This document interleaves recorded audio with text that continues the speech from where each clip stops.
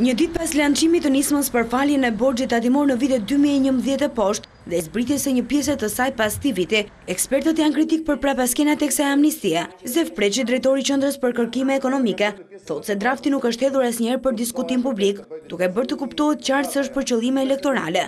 Preçi kujton qeverisë edhe faktin tjetër që nuk ka patur asnjë falje të detyrimeve tatimore në programin e saj, prandaj sipas tij mund të shtrohet shumë qartë pyetja përse kjo falje tani kur një vit më parë pati kontrolle më se të rrepta për biznesin.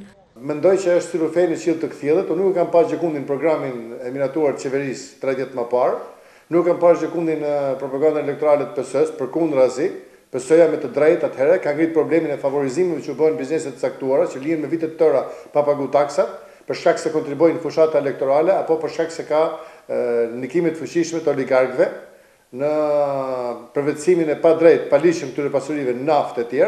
Dhe njëkohësisht krijimin e terrenit për të krijuar një gropë të madhe në buxhetin e shtetit.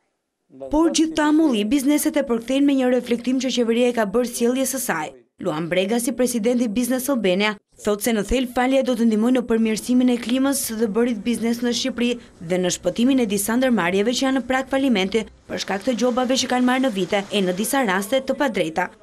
Është një politikë që ne do ta mbështesim. Unë mendoj që kjo lëvizje vjen edhe mbas një pakete për përmirësimin e procedurave tatimore doganore që u lançua.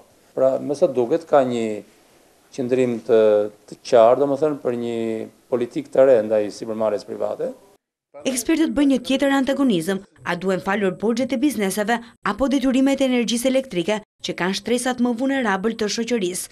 Treqind e pesëdhjetë mijë familje shqiptare për të paguar me këste detyrimet e prapambetura të viteve të kaluara dhe dihet që një pjesë e mirë e këtyre familjeve s'i kanë paguar se s'kanë pas mundësi të paguanin, pra është pjesa më e varfër e popullsisë e cila ka qenë prej vitesh debitore në energji.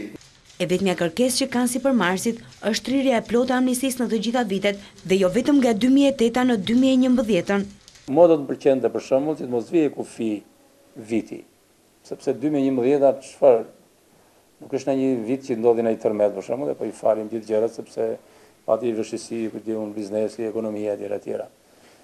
Pra, më mirë është të diskutohet me problematika, domethënë, të merren të gjitha kompanitë që kanë pasur probleme, që administrata i ka gjykuar si gjoba të nxituara, si gjoba klienteliste, si gjoba si qëndrime jo korrekte. Nga kjo nismë qeveria do të falë afro katërqind milionë dollarë detyrime, gjoba dhe kamatëvonesa, përveç atyre që rrjedhin nga sigurimet shoqërore të punonjësve.